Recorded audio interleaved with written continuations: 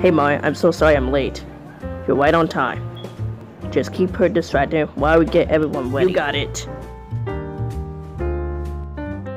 Oh hey, there's my favorite aunt. Peter. What a nice surprise. Need some help? Uh, yeah, sure. Oh, there's some Harry Potters in. No, no, no, no. I mean, I mean, not yet. I mean, I came to, uh, I just wanted to talk.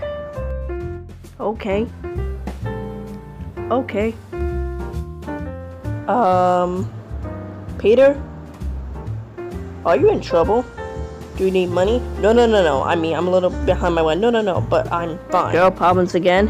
What? No, that's crazy. Still wish you and MJ could work things out. She's a great girl. She is, but the two of you will make some beautiful wow. babies.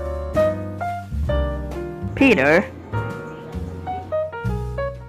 What is it? Come on.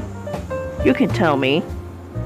Um, these past few years, you helping me do college and working here, sacrificing so much and asking for nothing. I just wish there was more people like you in the world. He's right. Five years ago, you walked in and told me you inspired my mission to help others. Now it's you who inspires me. Thank you, May, for everything. Here's to many more years of service.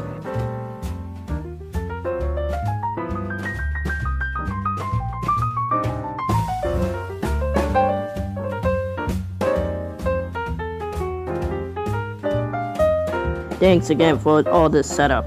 Oh, I just wish I could do more. Well, May always told me if you help someone, you help everyone. Maybe we should send May to City Hall to have a word with the mayor. Oh, I got a one. Um, thanks again for the party, everything. It really means a lot.